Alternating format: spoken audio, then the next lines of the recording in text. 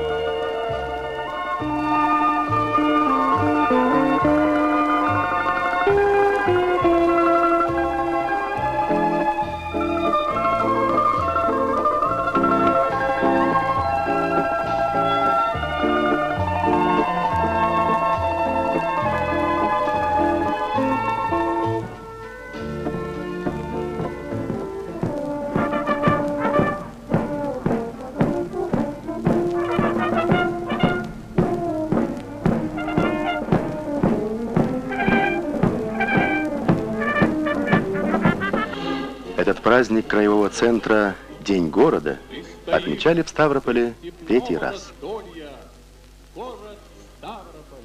Радость моя.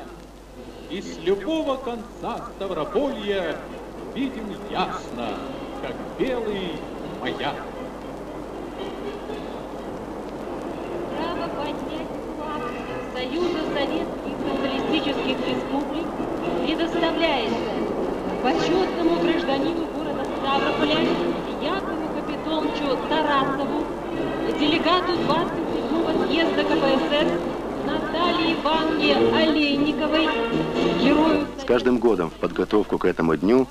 Вкладывают горожане все больше сил и энергии.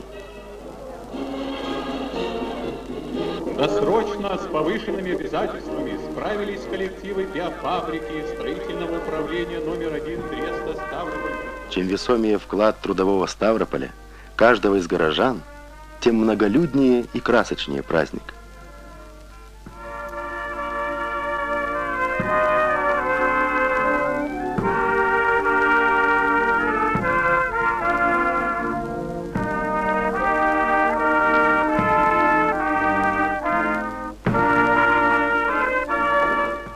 Многочисленных имен победителей в социалистическом соревновании в честь Дня города прозвучало имя электромеханика Междугородной телефонной станции, делегата 27-го съезда КПСС Натальи Ивановны Олейниковой. Сегодня в нашем городе большой праздник, День города. И в эти дни вспоминаются мне те дни работы 27-го съезда КПСС. В работе съезда я принимала в составе Старопольской партийной делегации. Слушая политический доклад Центральному комитету и принимая решение с делегатами съезда на дальнейшую работу, вспоминался наш город родной. Растет он не по дням, а по часам. Появляются новые дома, улицы. Буквально на глазах вырос юго-западный район. Конечно, это не было без участия каждого горожанина, каждого предприятия.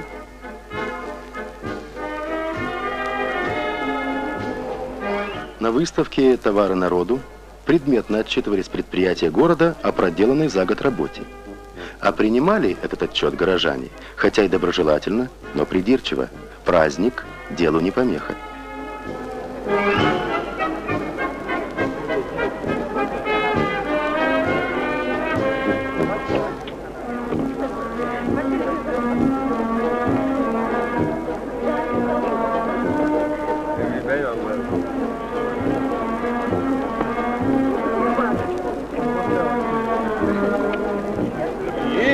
Кавказе чудо-город, прекрасный город, город-сад. На 45-й параллели у южных солнечных широт, где ковылем холмы белели, он расцветает каждый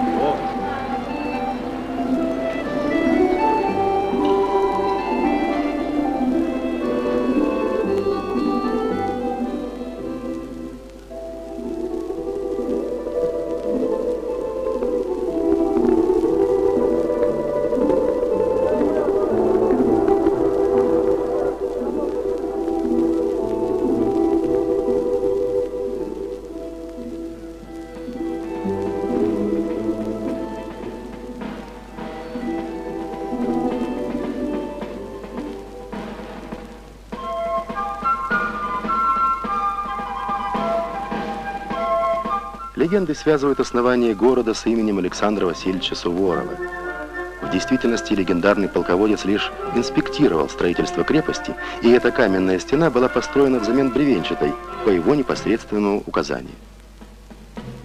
До наших дней дошли и легенда, и остатки крепостной стены. А город заложили прибывшие сюда под конвоем осенью 1777 года непокорные Екатерине II хоперские казаки.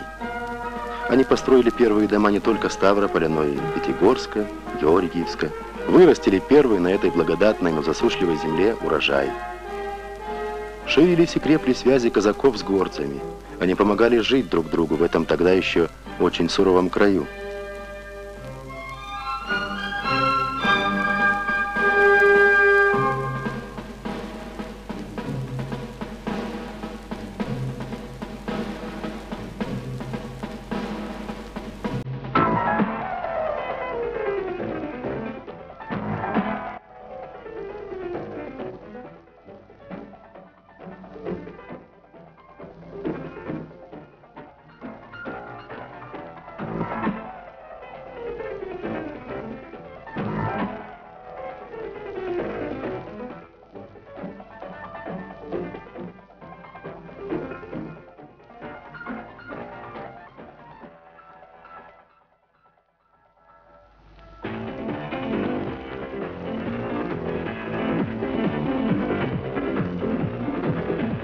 Сегодня товары со ставропольской маркой известны почти в 70 странах.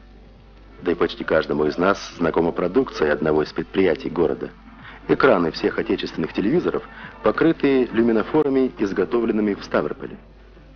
В канун Дня города в производстве люминофоров досрочно введена в эксплуатацию печь повышенной производительности. Праздник – делу помощник.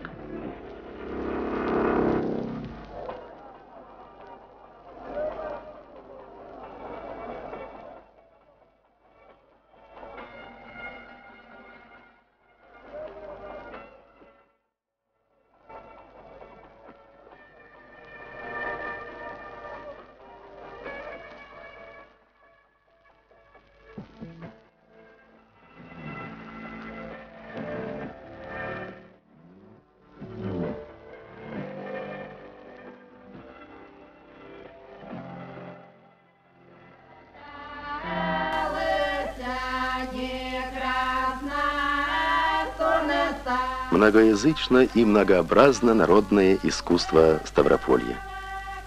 Самодеятельные артисты и художники – верные хранители и продолжатели лучших народных традиций. Песню, что сейчас звучит, почти два столетия хранили на чужбине вернувшиеся на родину казаки-некрасовцы. Сподвижники Петра Болотникова, преследуемые самодержавием, они вынуждены были покинуть родину. И только спустя 200 лет – потомкам казаков-бунтарей удалось вернуться в отчий край. Все годы изгнания песни и танцы родного края были тем живительным родником, что питал их любовь к родной земле. Вот так или почти так танцевали в Ставрополе 200 лет тому назад.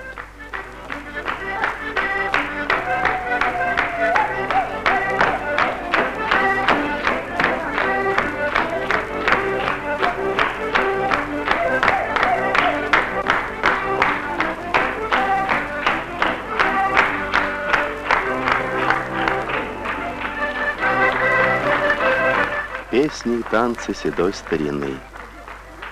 От их звучания ярче и моложе становится и сам город, и его праздник.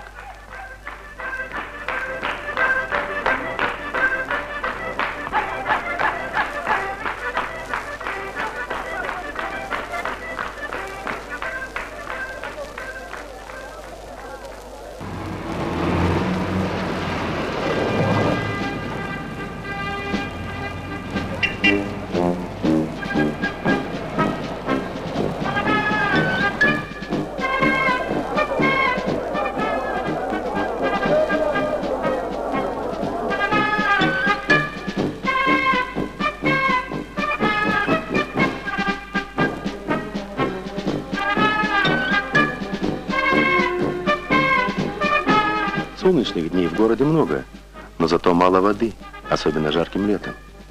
Проблема снабжения города водой пока еще полностью не решена. Но оптимизма ставропольчанам не занимать, а преодоление трудностей часто залог успеха. Подтверждение тому – воспитанные здесь чемпионы страны по плаванию. К спорту в городе отношения особенные.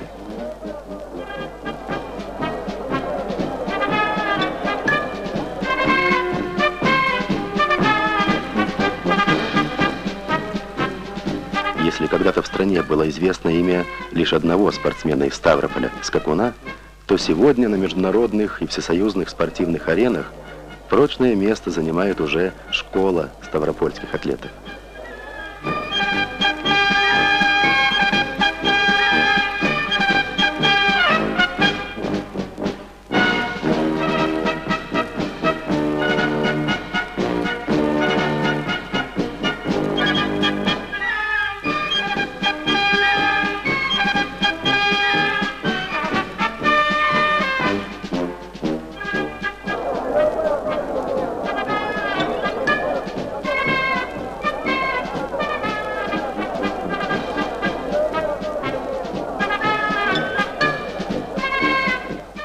Еще в 20 году на самом первом общегородском коммунистическом субботнике был заложен этот стадион, как один из первых объектов городской стройки.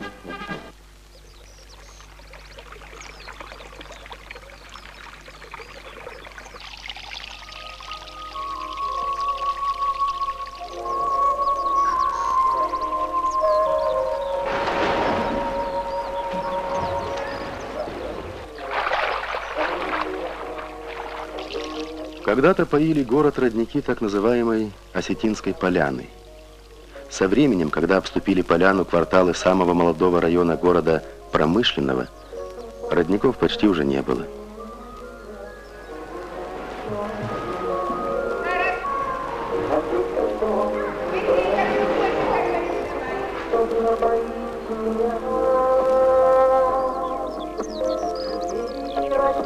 Трудно сейчас вспомнить, кто первым задумался о судьбе родников.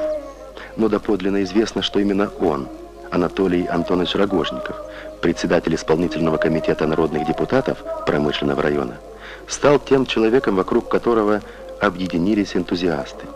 И, как видите, живут родники –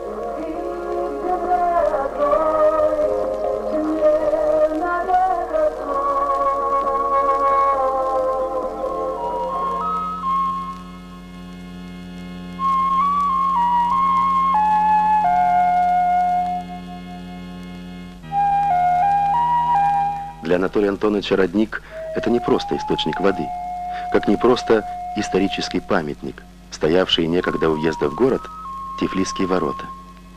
Их тоже нужно вернуть из небытия.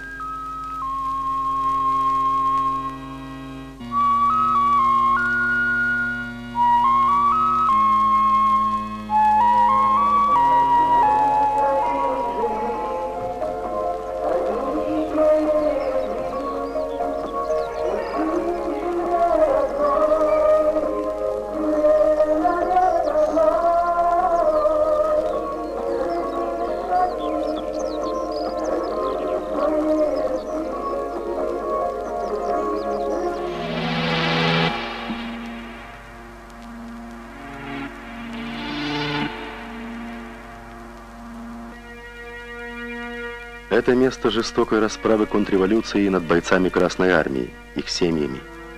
Здесь покоится прах тысяч советских граждан, замученных гитлеровцами в годы Великой Отечественной войны. Называется это место «Холодный родник».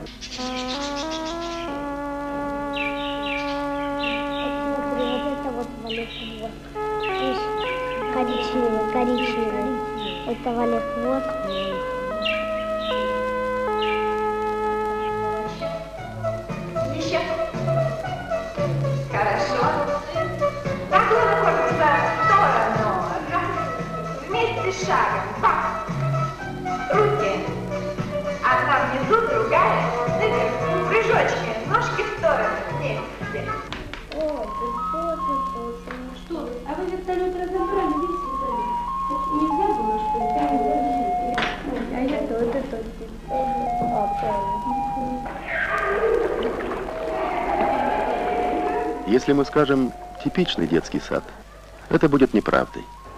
А если что один из лучших, тоже погрешим против истины. Есть и лучше. Этот типовой детский сад усилиями души и сердца, терпеливой настойчивостью тех, для кого дети не просто объект заботы и воспитания, преобразован в нечто большее. Патриотизм, как и любовь, понятия действенные.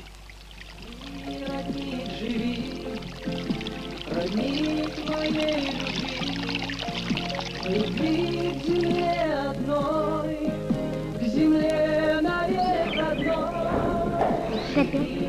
родник живи, родник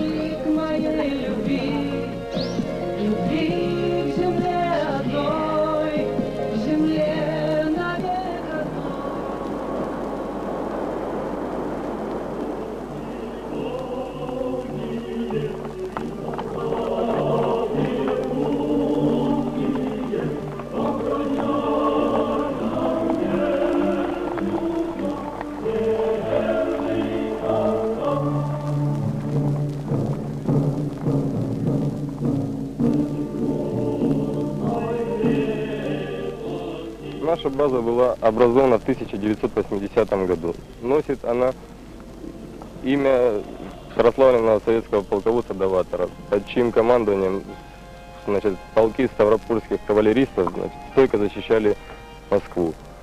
Занимаются в нашей школе в основном юноши и девушки в возрасте с 10 до 15 лет. Конный спорт дает большие возможности для всестороннего причем развития.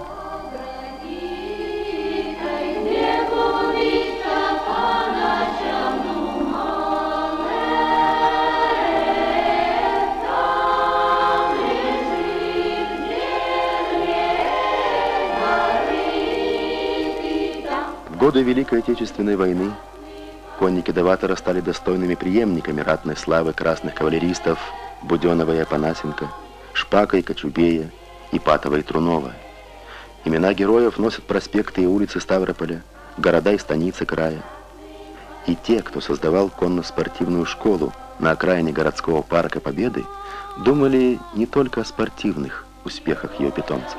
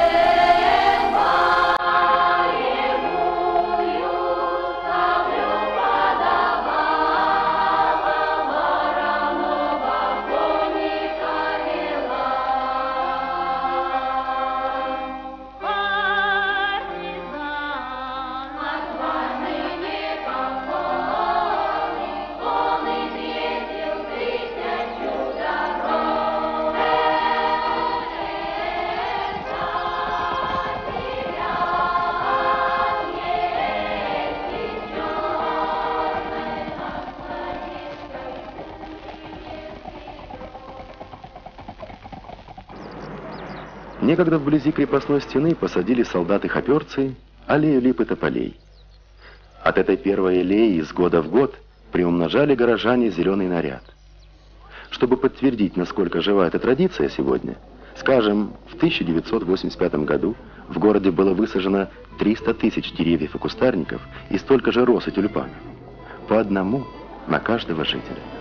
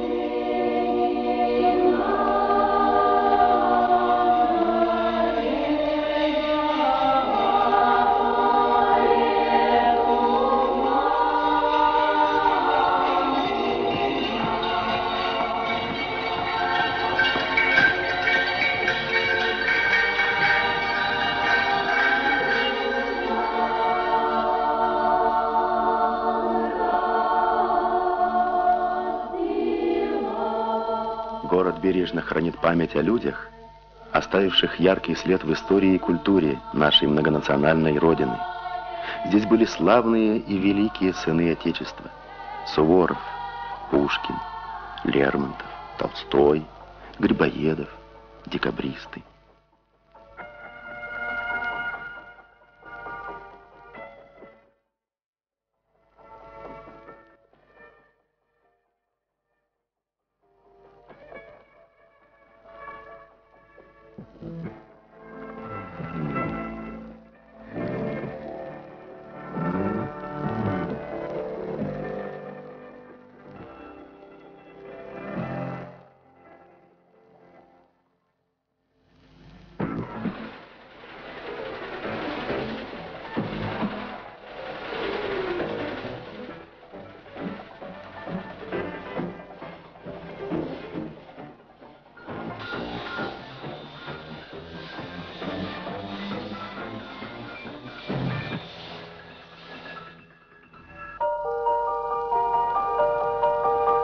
От соленого Маныча до кавказских минеральных вод, от предгорий Кавказского хребта до прикаспийских пустынь раскинулось Ставрополье.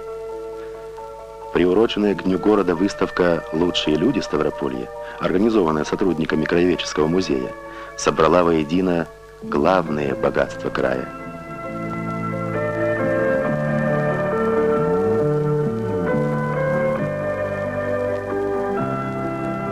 почетному гражданину города Ставрополя, предоставилась возможность вручить символический ключ 300-тысячному жителю города Ставрополя. 45 лет назад я переступил порог завода «Красный металлист». Это одно было из предприятия изо всех в городе Ставрополя. В настоящее время город Ставрополь стал индустриальным, промышленным, Перед нами стоят, конечно, большие задачи. На нашем заводе необходимо провести большую реконструкцию с таким расчетом, чтобы мы на одних и тех же площадях выпускали вдвое продукции. Мне предоставилась возможность встречаться с Михаилом Сергеевичем Горбачевым при посещении города Ставрополя. И я от имени ветеранов труда заверил, что мы приложим все силы, чтобы выполнить все решения 27-го съезда партии.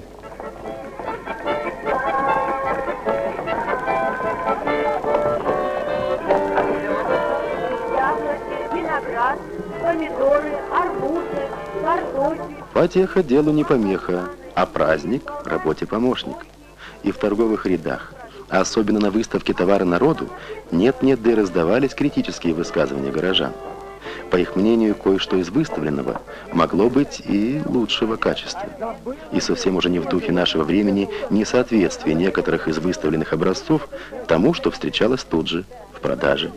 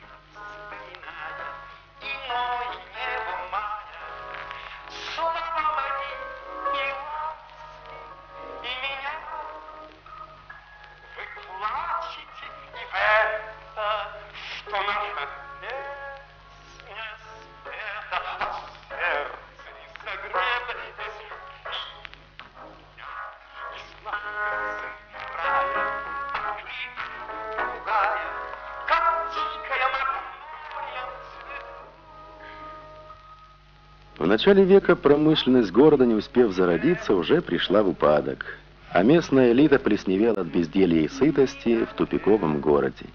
Прожили и канули в лету.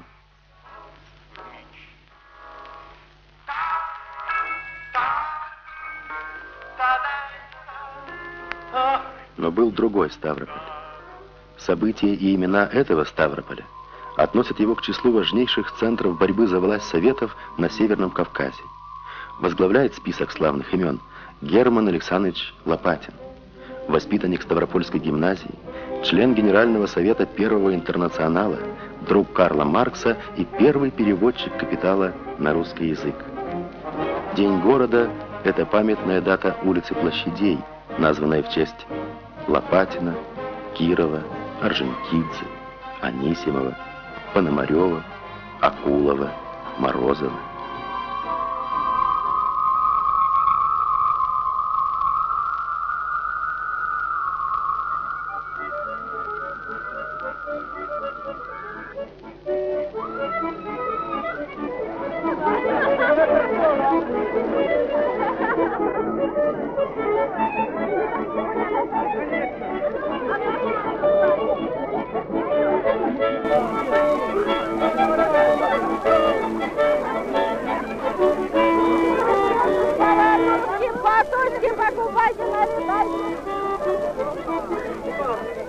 Потеха делу не помеха. Только за один день на праздничной ярмарке хозяйствами края было продано продукции более чем на миллион рублей. Инна Гроскопас, студентка кооперативного техникума, боец студенческого отряда. Уже как второй год наша бригада, бригада работает на студенческом агрокомплексе.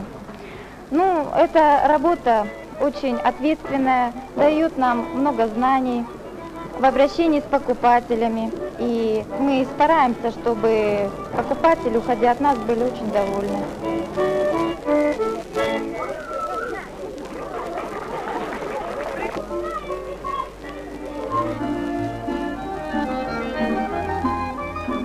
За последние годы во многих станицах и селах Ставрополья возникли улицы новостроек, носящие имена районов краевого центра. Вот это, к примеру, улица Промышленная. Она построена рабочими предприятий промышленного района города. И это один из примеров конкретного вклада горожан в реализацию продовольственной программы.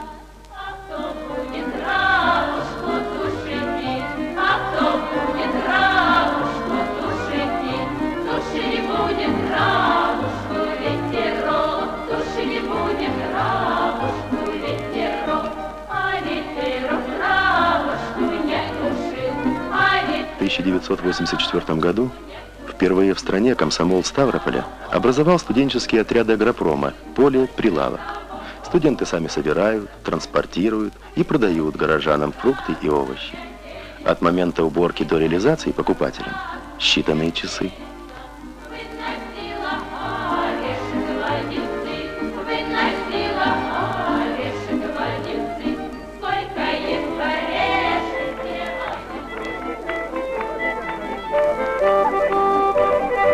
Хорошо веселится тот, кто хорошо поработал.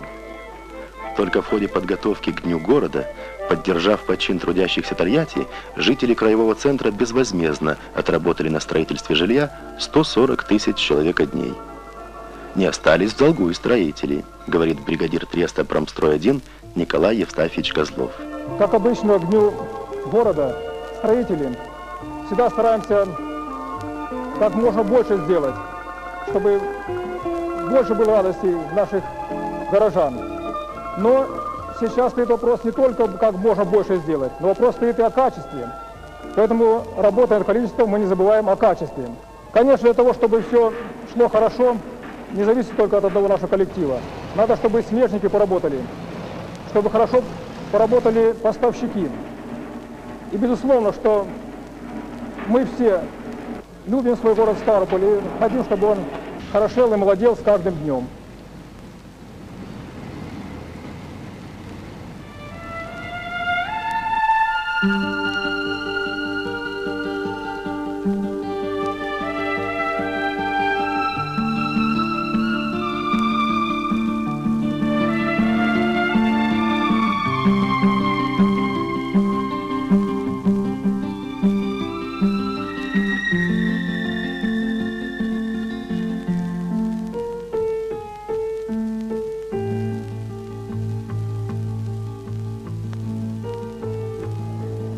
Счастлив и горд, что в такой торжественный для нашего родного города день нашему отряду средней школы номер два доверено нести почетный караул у мемориала «Огонь вечной славы».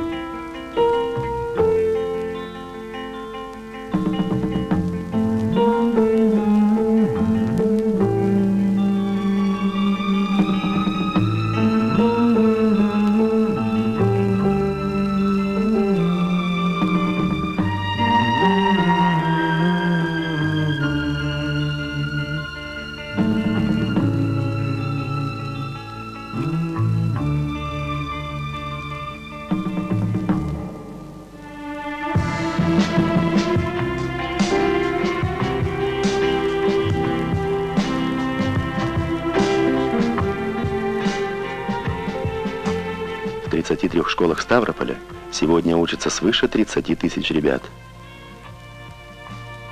Говорит заслуженный учитель РСФСР, отличник народного образования Елена Ивановна Романова. Нынешний учебный год мы начали с большого праздничного старта – День города. И хотя начало учебного года очень хлопотное для работников школы, но все мы, учителя, школьники, активно участвовали в подготовке к этому празднику. Выходили на субботники, приводили в порядок свой родной город, участвовали в репетициях, праздничному концерту, празднику на стадионе. Вот здесь со мной мои ребята, они очень активно участвовали в приведении в порядок нашего города. Праздник День города интересный. Он позволяет каждому школьнику от мала до велика прочувствовать свою сопричастность с историей родного города, его настоящим и еще более прекрасным будущим.